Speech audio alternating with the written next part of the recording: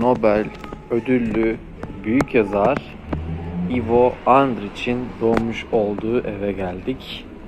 Travnik'te dünyaya gelmiş bu eee, bu bu kişi kim? Bu kişi Bosna'dan Yugoslav yazar. Nobel Edebiyat Ödülünü almayı başarmış ender kişilerden tam olarak bu evde dünyaya gelmiş. Burası şimdi minik şirin bir müze olmuş. Alt tarafı hediyelik eşya ve kafeyken üst tarafı ise müze. Şimdi size Ivo Andrić hakkında bazı bilgiler vereyim. Ivo Andrić'in neden önemli olduğundan bahsedeyim. Ivo Andrić önemli çünkü Ivo Andrić yaşadığı dönemde sadece bir yazar değil aslında bir siyasetçi de diyebiliriz. Nasıl yani siyasetçi? Aslında siyasete karışmamış. Hümanist, insancıl birisi olduğu için siyasi bir e, mahkummuş yaşadığı dönemde. Kendisi genç Boşnak Hareketi grubunun bir takipçisiymiş.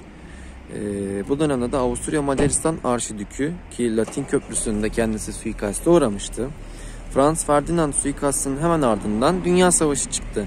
E, bu Dünya Savaşı öncesi ortam çok gergin. E, insanların e, tansiyonunun çok yüksek, savaş bulutlarının toplanmış olduğu bir ortamda kendisi de bir yazar olduğu için Ha burada şeyinden yüz yapmış. Kamera net çekiyorum bilmiyorum ama gözlük ve şey yapmışlar. Neyse.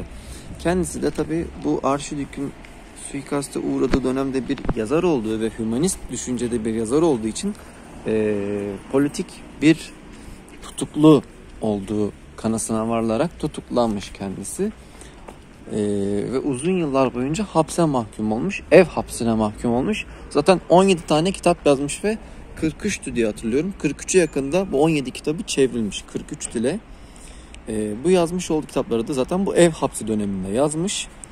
Ee, Tabi daha sonraki senelerde serbest kalan Ivo Andrić e, yıllardır çekmiş olduğu hümanist, özgürlükçü, insancıl mücadelelerinin zaferini ise yıllar sonra Nobel Edebiyat Ödülü alarak tarihe kazanmış.